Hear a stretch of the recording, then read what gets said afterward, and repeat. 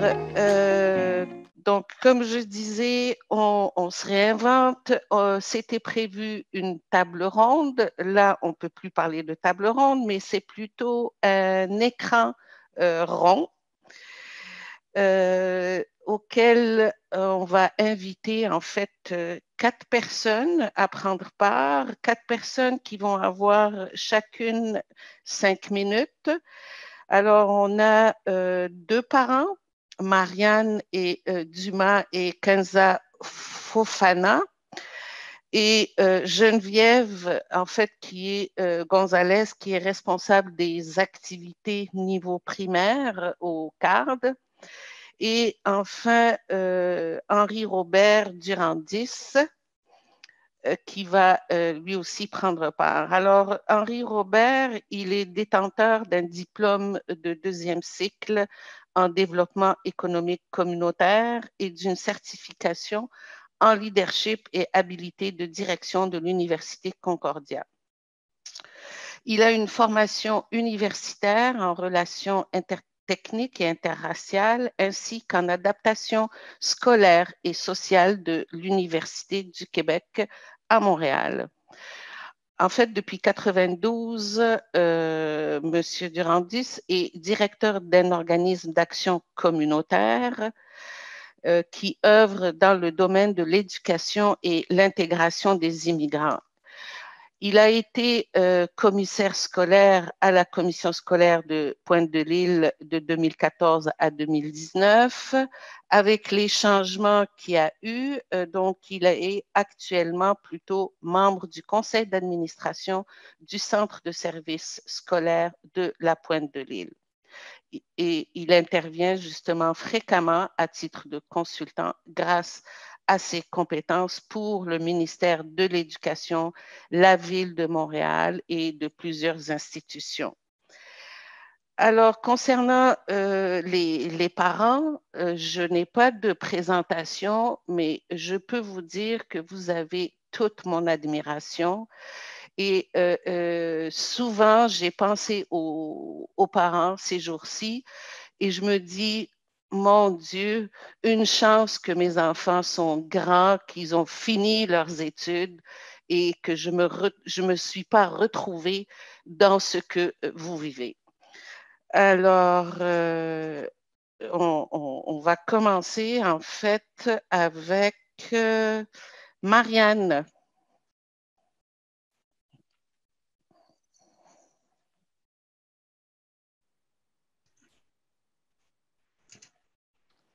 Bonjour à tous. Donc, euh, moi, euh, c'est Marianne. Euh, je suis maman de trois enfants. Donc, j'en ai deux à l'école, puis un qui a commencé la garderie en septembre. donc, j'ai des enfants de, dans le fond, 5, 8 et 9 ans. Les deux plus grandes vont à l'école alternative à Pointe-Saint-Charles.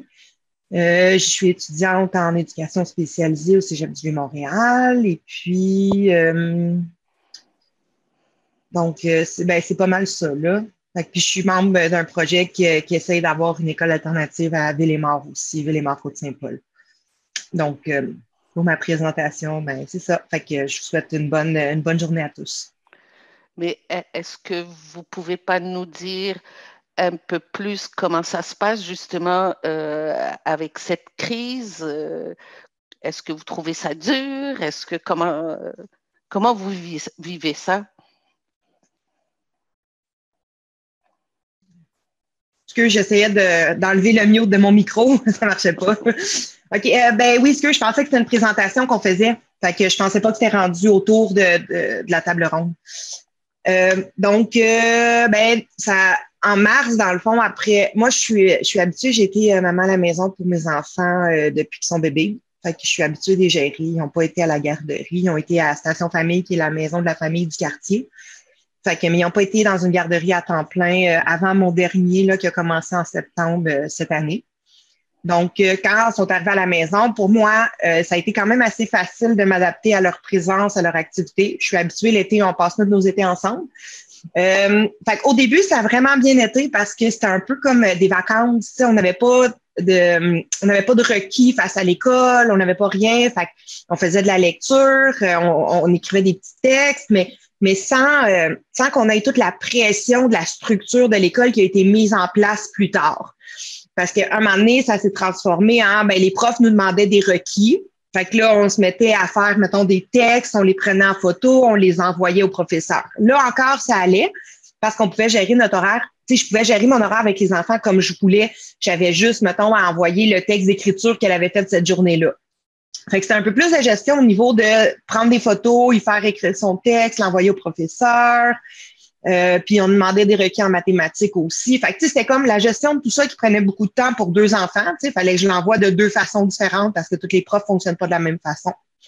Là où j'ai commencé à trouver ça très, très, très difficile, c'est quand on s'est mis à nous imposer des horaires de Zoom avec les enfants. L'attention sur Internet des enfants, c'est quelque chose. Peut-être qu'au niveau secondaire, c'est moins pire, mais au niveau de la... Là, l'année passée, il en deuxième et troisième année. C'était très, très difficile. En tout cas, pour mes enfants, là, rester assis devant un écran pendant 30, 40 minutes à écouter des compagnons sans nécessairement parler ou à écouter le professeur. Il fallait que je passe mon temps à côté de mon enfant pour qu'il soit capable d'écouter en classe puis de faire les activités. Sauf que j'en avais deux, puis des fois, les deux zooms étaient en même temps, puis des fois, on n'avait pas, c'était back-à-back un zoom puis l'autre. Fait que là, je courais d'un bord puis de l'autre dans la maison. Euh, installe le zoom sur un, va sur l'autre ordi, installe l'autre, oh, reviens, ça marche pas, il y a de quoi, OK, change de cours, puis OK, arrête de, de, de toucher sur le bureau, faut que écoutes ton prof, tu peux pas jouer avec les boutons quand quelqu'un parle. C'est vraiment, puis ça enlevait toute ma liberté. Tu sais, nous, on allait dans la nature, on allait au parc en grignon, euh, faire écrire nos textes, compter des, des, roches, compter des bouts de bois. Puis là, ça enlevait toute ma liberté. Il fallait que je sois encadrée dans ma maison. Je pouvais pas aller au parc, je pouvais pas aller en plein air comme je voulais pour. Euh, c'est ça, j'ai vraiment, vraiment trouvé ça difficile d'être encadrée comme ça par l'école. Puis là, après, ben, l'été est arrivé. Fait que là, on a pu souffler, vivre un semblant de vie normale euh, parce que, tu sais, cet été, c'était plus facile de voir les gens dehors en gardant nos distances. Il faisait beau, on était contents. Puis là, ben, l'année est recommencée. Euh, moi, en étant à l'école alternative, euh, j'étais habituée d'être dans la classe de mes enfants autour de trois à quatre heures par semaine que j'allais dans les classes avec eux je faisais des activités euh, avec les autres élèves de la classe. J'y allais avec mon plus jeune, il allait pas à la garderie, fait qu'il venait avec moi dans les classes, jouer avec les amis. Puis du jour au lendemain, comme tout a arrêté, même là en septembre, mais là, mon, mon, plus jeune est à la garderie justement à cause de ça, parce que là, moi, je me je, peux plus l'emmener à l'école avec moi. Il sociabilise beaucoup moins. Fait qu'il avait besoin de voir d'autres enfants. Fait que là, j'ai dû l'inscrire à la garderie pour lui offrir un contact social qu'il a besoin. Et puis, moi, je me ramasse à pratiquement plus aller dans les classes de mes enfants. Tu sais, je pense que je suis allée euh, trois fois depuis le début de l'année, puis ça a été dehors à deux mètres de distance avec un masque. Fait qu'on leur a préparé une activité d'Halloween. Tu sais, c'est vraiment plus compliqué parce qu'il fallait tout amener le matériel à l'école 48 heures d'avance. La, la professeure a laissé ça, c'est elle qui devait euh, qui, devait euh, sortir les choses. Tu sais, elle, ça y fait beaucoup plus d'ouvrages aussi. Fait que tout ça pour une activité spéciale qui avant aurait tellement été simple. Fait que c'est ça, il y a beaucoup moins. Puis comme c'est dehors aussi, puis c'est pas tous les professeurs. J'ai un, professeur d'un de mes enfants qui est comme vraiment moins à l'aise. Pour l'instant, j'ai même pas eu l'occasion d'aller dans, dans sa classe, mais avec elle dehors. Tandis qu'il y a un autre professeur qui est comme plus à l'aise, puis c'est avec elle que j'ai eu le temps d'y aller. Pour nous, ça a changé énormément euh, notre rapport à l'école. Maintenant, c'est plus un soutien euh, vraiment à la maison, euh, d'aider, de, l'école se limite aux devoirs puis aux leçons, tandis qu'avant, c'était vraiment un moment de qualité aussi avec mes enfants. Ça, a beaucoup changé ça. J'ai hâte et mes enfants aussi que la pandémie finisse, qu'on retrouve un semblant de vie normale. Fait c'est pas mal ça mon témoignage en tant que parent. Merci beaucoup, Marianne. Euh, on passe à Kenza.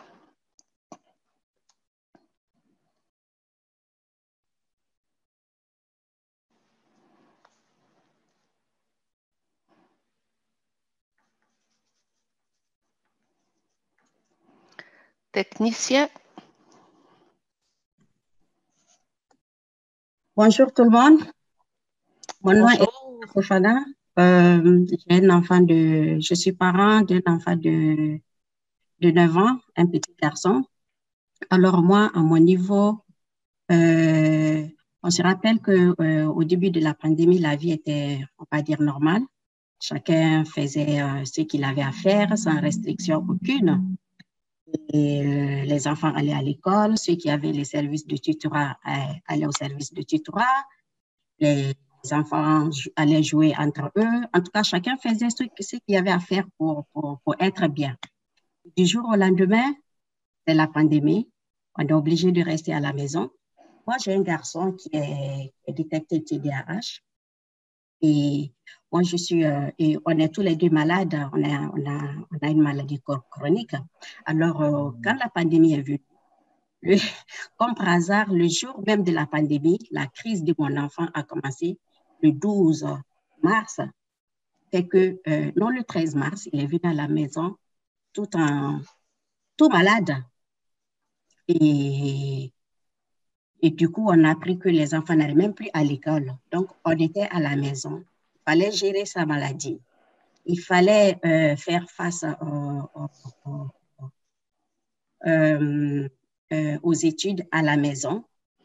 Et par la suite, moi-même, je suis tombée malade. Donc, ça a été très, très, très difficile le début de la pandémie pour nous. Mon garçon, euh, euh, à cause de sa maladie, n'arrivait pas à suivre les cours en ligne que les professeurs donnaient. Et donc, quand il allait mieux, les jours où il allait mieux, il, faisait ce qu'il pouvait, mais il avait déjà du retard parce que, étant malade, il ne pouvait pas suivre les cours.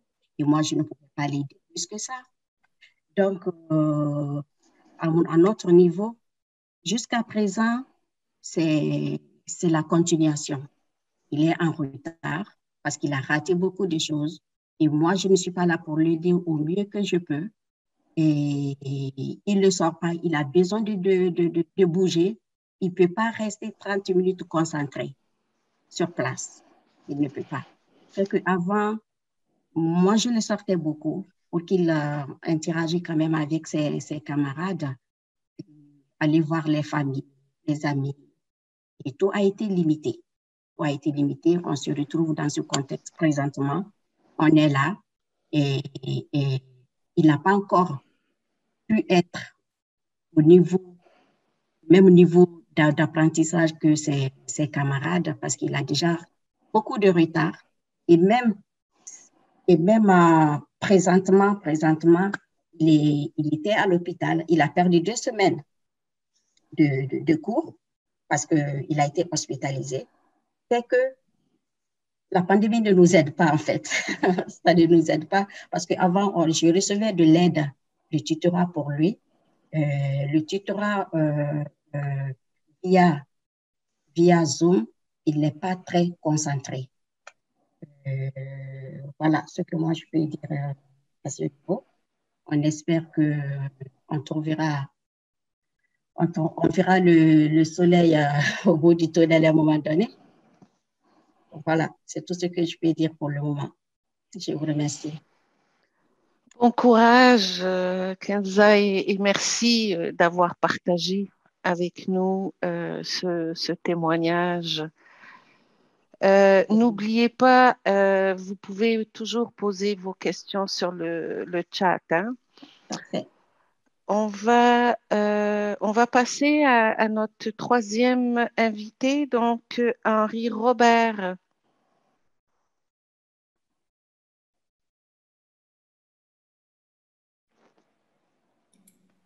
Allô? Oui. OK. Bonjour.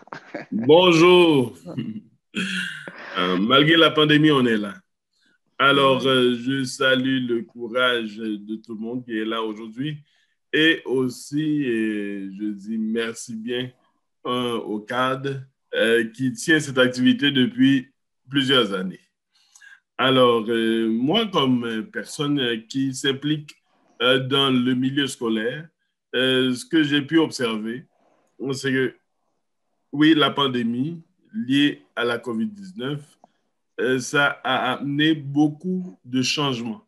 Beaucoup de changements, euh, non pas seulement pour les parents, les enfants, mais aussi les écoles en tant que telles. Et quand on parle des écoles, on parle du centre de service scolaire, de l'établissement scolaire, des profs, des cadres, etc.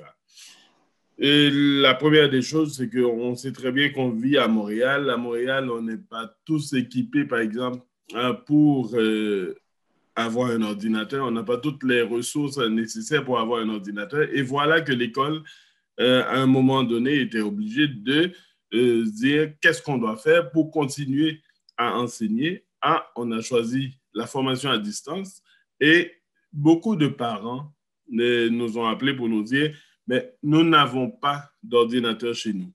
Alors, comme on n'a pas d'ordinateur chez nous, qu'est-ce qu'on doit faire? Alors, les commissions scolaires, par exemple, je, parle, je peux parler de la commission scolaire de la Pointe de l'Île, euh, qui a été obligée de doter euh, plusieurs parents, plusieurs familles d'un ordinateur. Et aussi, il y a eu d'autres organismes communautaires euh, qui, ont fait, qui ont pris l'initiative d'aider les parents à ce niveau-là euh, pour combler ce manque. Et il y a un parent qui vient de dire, oui, ça amène aussi un changement. Parce que quand on reçoit cet ordinateur-là chez nous, ah, il faut apporter plus de surveillance. Parce qu'on ne peut pas laisser le jeune avec l'ordinateur en disant, OK, il va s'en occuper, il va suivre son cours, etc.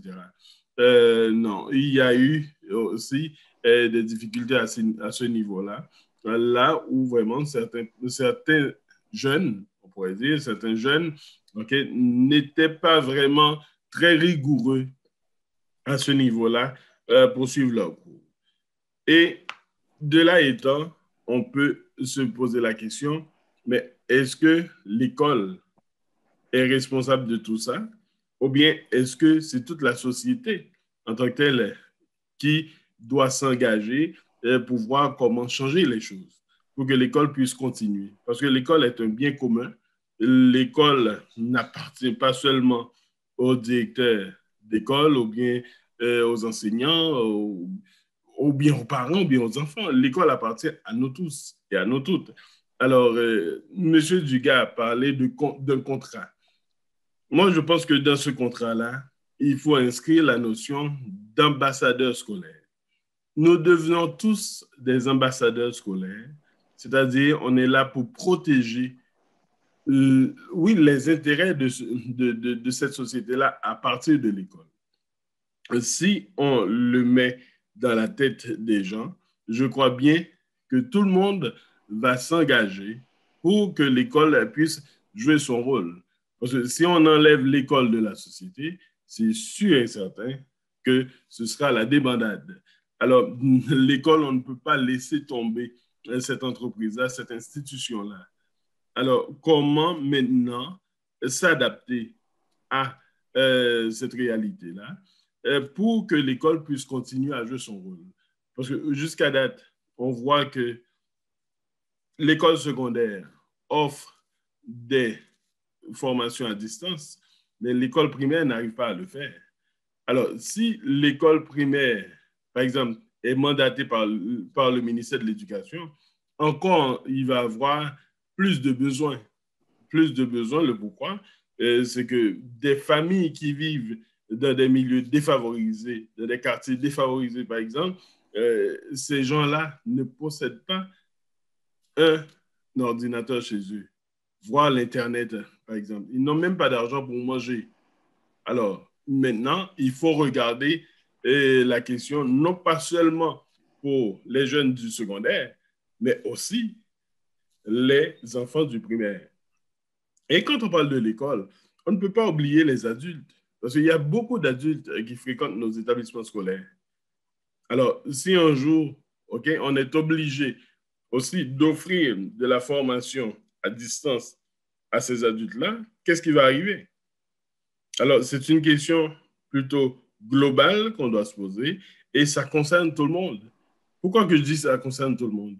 Si par exemple, moi, j'ai deux ordinateurs, bien trois ordinateurs chez moi, ah, je connais un ami qui va à l'école et l'ami n'a pas de...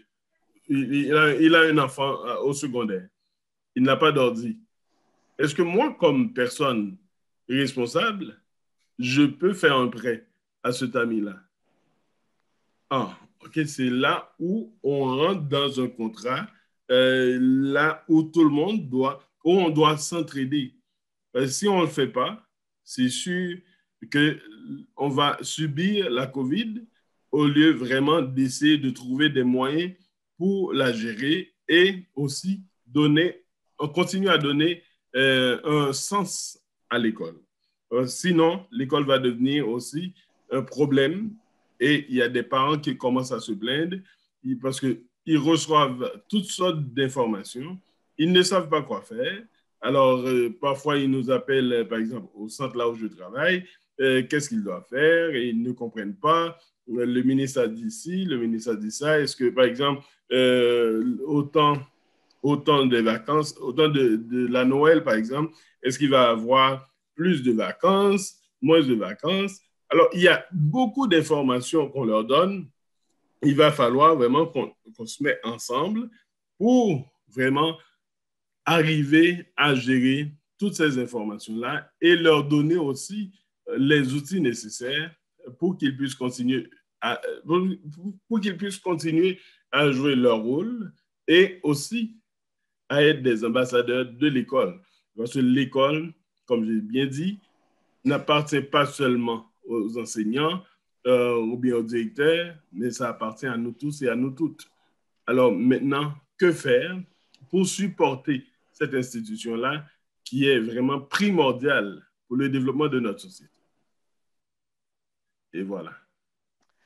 Merci, euh, Monsieur Henri Robert. Euh, en effet, euh, c'est tout à fait vrai ce, que, ce que vous dites. Tout le monde devrait en fait faire sa part, s'engager. Et je peux confirmer, moi, je suis vraiment très fière d'annoncer, de, dire que notre comité jeunesse a, contribué et il a offert une centaine d'ordinateurs aux, jeunes de notre école euh, secondaire euh, dans, Villemar-Côte-Saint-Paul. Euh, on va passer à la quatrième intervention avec, avec Geneviève. Geneviève, justement, qui euh, intervient euh, et, qui travaille euh, auprès des, jeunes du primaire. Bonjour, est-ce qu'on m'entend? Oui. Oui. Parfait. Donc, oui, comme Asia a dit, je m'appelle Geneviève. Ça fait un an que je travaille au CARD en étant responsable du niveau primaire. Donc, comme la grande majorité d'entre vous savez que le cadre a pour mission d'aider à la réussite et au développement du plein potentiel des jeunes, tout en créant une dynamique avec leurs parents et le processus d'aide et de soutien. Donc, depuis l'annonce euh, de la fermeture des écoles le 13 mars, on a été, comme plusieurs organismes du quartier, au rendez-vous pour aider les familles euh, du quartier Villemar et Côte-Saint-Paul. Pendant ce temps de pandémie, euh, le cadre a beaucoup évolué puis s'est adapté au monde du virtuel. Donc, on a commencé à faire des activités en ligne, comme l'aide aux devoirs, durant le confinement de mars à juin, qui se déroulait du lundi au vendredi pour niveau primaire et secondaire. Ensuite, durant la période estivale, il y a eu le camp pédagogique dans lequel on organisait des activités euh, euh, de renforcement des capacités via un site euh, Internet qui a été trouvé par une de nos collègues. Puis ainsi, ça l'aidait à aux jeunes du primaire et du secondaire de réviser les différentes notions de français, mathématiques et autres. Avec la rentrée scolaire, on a repris le service à l'aide aux devoirs en présentiel. Mais là, ça a été différent. Normalement, on recevait les jeunes du lundi au jeudi. Mais là, maintenant, cette fois-ci, on n'est qu'avec 17 jeunes et qui sont divisés par deux groupes dont un groupe lundi, mercredi et un autre groupe mardi, jeudi. Puis euh, on a l'aide des professeurs, heureusement. Fait qu'on a vraiment un suivi constant avec les enseignants de qu'est-ce qu'ils apprennent à l'école et ainsi avec les parents aussi. Parce que vu que maintenant on les a que deux jours par semaine, en ayant le suivi avec les enseignants puis les parents, ça nous permet de savoir si l'enfant a pu faire ce qu'il devait faire à la maison. Et puis, euh, depuis un moment, en partenariat avec euh, l'organisme Le Sommet, on a pu donner une trentaine d'ordinateurs aux familles du quartier. Fait qu'ainsi, euh, auparavant, ils ont pu faire les cours en ligne grâce à nos ordinateurs et également euh, suivre les cours en ligne qu'on a donnés au cours de l'année. Puis, avec toutes ces belles activités qu'on a fait au CARM, malheureusement, on constate, comme certains parents ont dit aussi, que les enfants ont une énorme difficulté, puis qu'ils ont du retard scolaire, non seulement dans la matière qu'ils apprennent en ce moment, mais surtout des, notions qui ont été apprises euh, l'année passée. Donc, malheureusement, avec cette crise, nous ne pouvons pas aider plus de jeunes. Plusieurs sont sur la liste d'attente, mais c'est pour ça que prochainement, on va commencer des cours en ligne afin d'aider les jeunes qui sont déjà avec nous. Comme ça, on va pouvoir les suivre plus régulièrement et ainsi que toutes les autres familles qui ont besoin de notre aide, euh, on va pouvoir les aider en ligne. Voilà. Merci Geneviève. On, sent que, tu aimes ce que tu fais et c'est euh, motivant